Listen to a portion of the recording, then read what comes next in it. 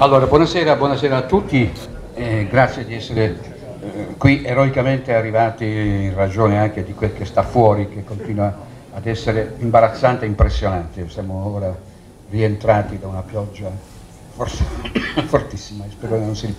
Comunque, scusate.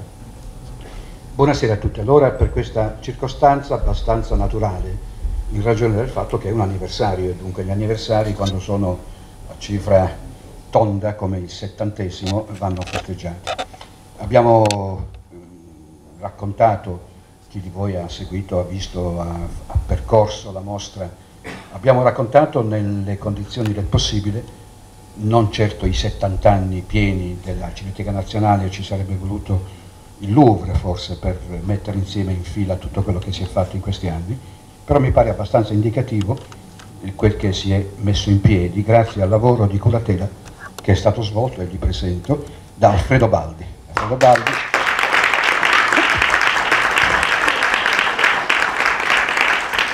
coadiuvato dagli interni del centro sperimentale, eh, li ringrazio tutti attraverso la persona di Vincenzo Aronica che ha, dire, in particolare seguito l'allestimento non facile non facile di questo lavoro, che è stato a sua volta tutti insieme seguito dal nuovo, peraltro da poche settimane, direttore generale del Centro Sperimentale di Cinematografia, Monica Cipriani, che qui accanto a me. Il lavoro era stato già in precedenza seguito dal, dall'ex direttore generale, che è qui e che saluto, eh, Marcello Foti.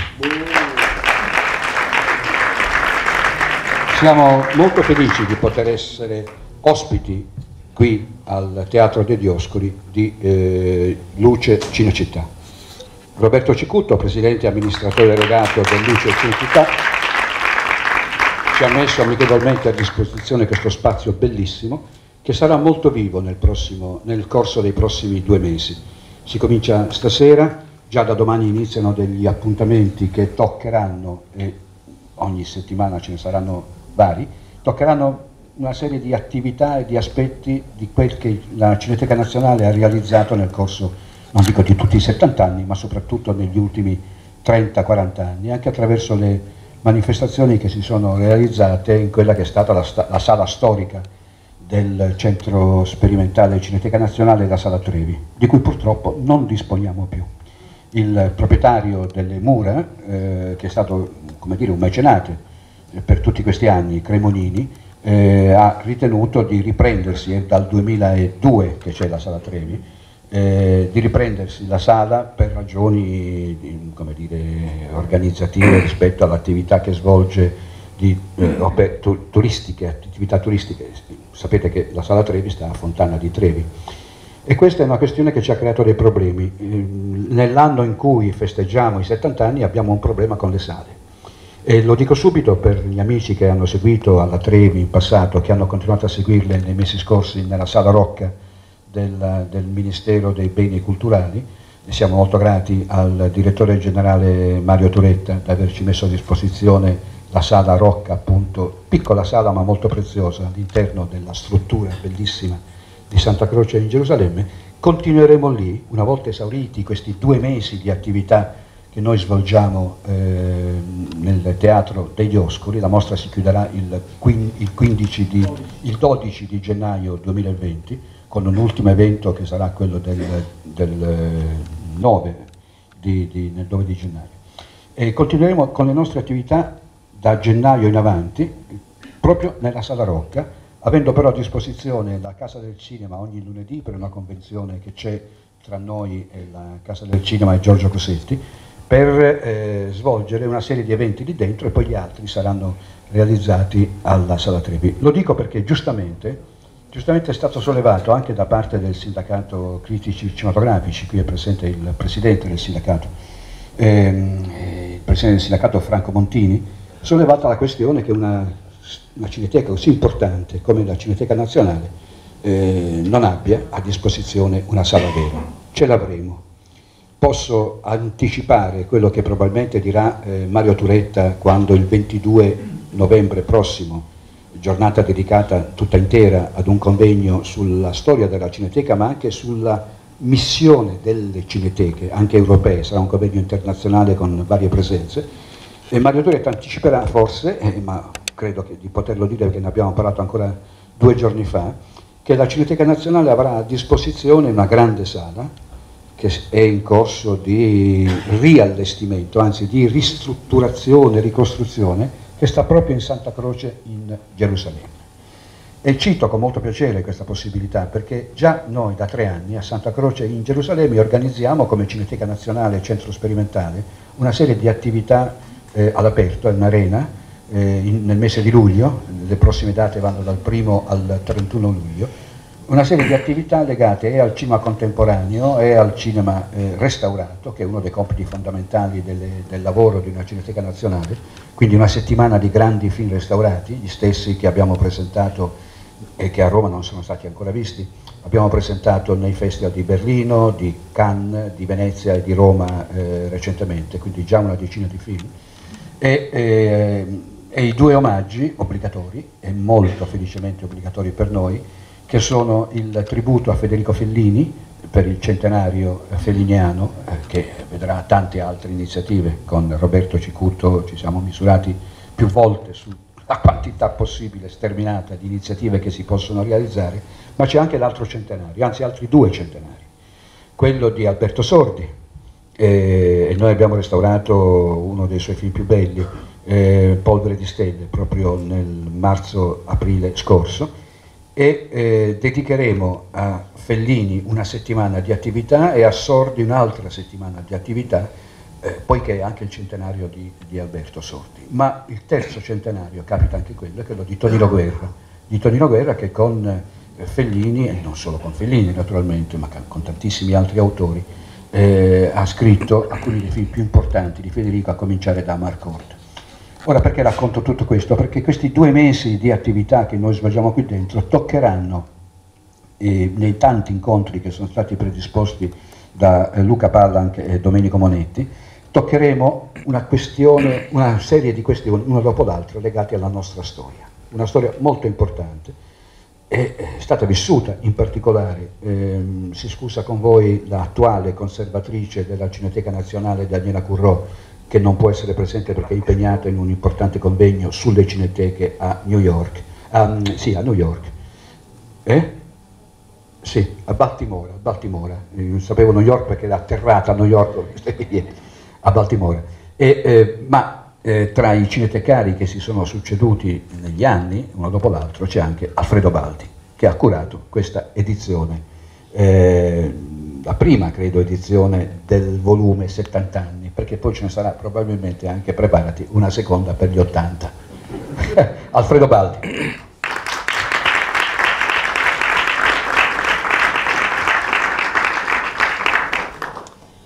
Grazie Presidente, grazie Felice. Io sono molto onorato di essere stato chiamato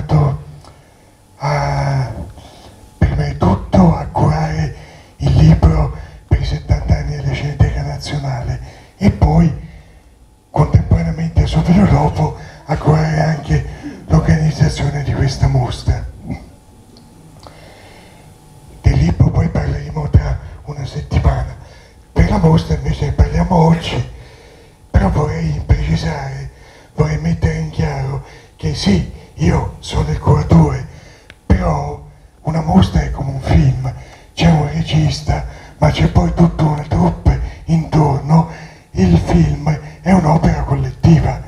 e la mostra è anche un'opera collettiva, quindi il merito non è solo mio, ma è, è al pari mio di tutti quelli che hanno collaborato con me, eh, prima tutto Vincenzo Eronica e poi tutti gli altri, moltissimi che hanno collaborato all'organizzazione della, della mostra adesso non voglio fare i nomi perché magari ne dimentico qualcuno, però sono tanti e qui li voglio ringraziare pubblicamente.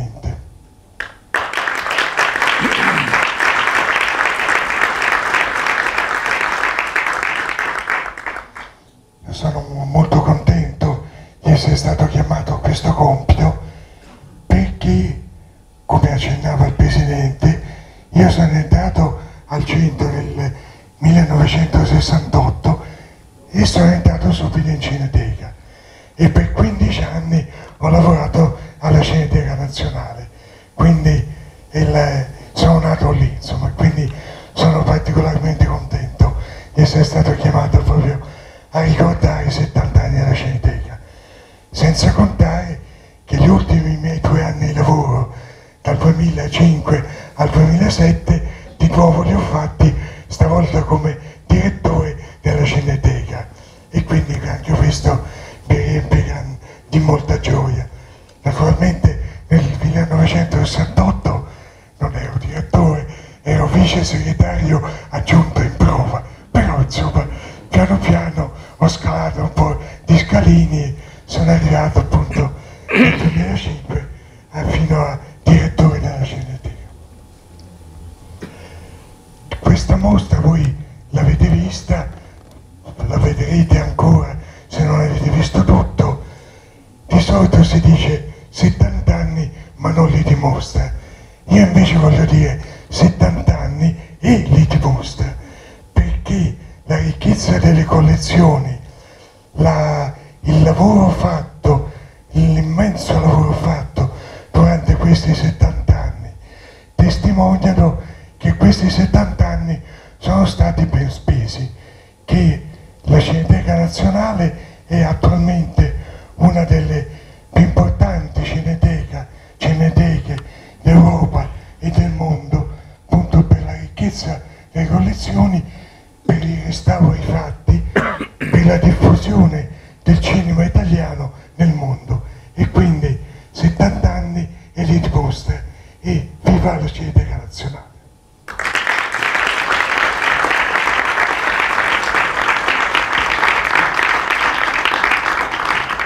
Grazie Alfredo, grazie del tuo preziosissimo lavoro, tuo e della squadra appunto che da regista rappresenti. E prima di passare la parola a Monica Cipriani eh, per un saluto ufficiale da parte del nuovo direttore generale del CSC, eh, vorrei segnalarvi i due leoni d'oro che forse avete visto eh, a un certo punto del percorso. Uno di quei due leoni è stato eh, è arrivato al, alla Cineteca Nazionale lo scorso anno per il restauro alla mostra del Cinema di Venezia del, fi, del, film dei fratelli Taviani, La notte di San Lorenzo, un restauro eccezionale realizzato insieme a Luce Cinecittà, il, con cui collaboriamo molto, abbiamo un progetto ormai da qualche anno di collaborazione per condividere al 50% i costi, che spesso sono molto elevati,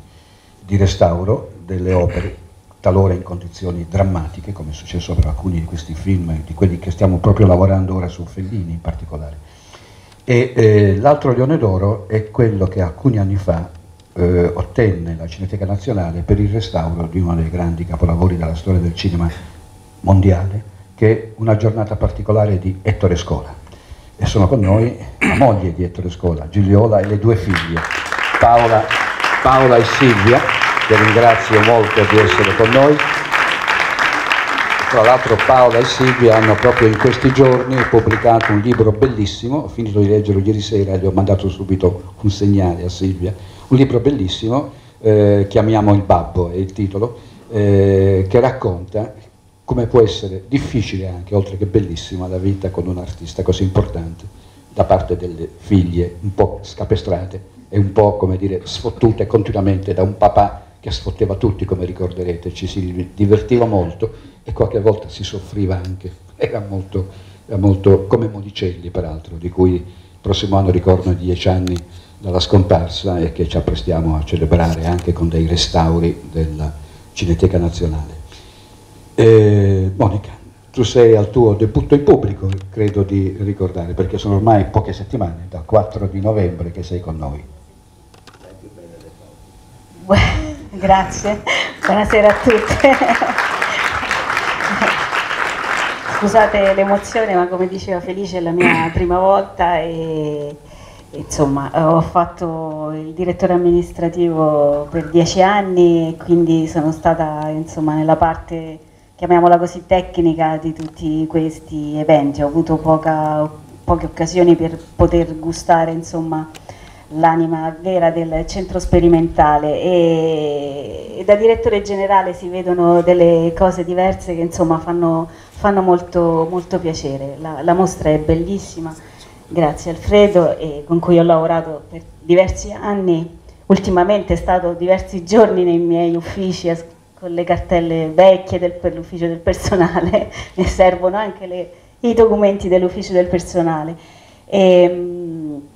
niente, parlavo poco fa con, con Vincenzo del,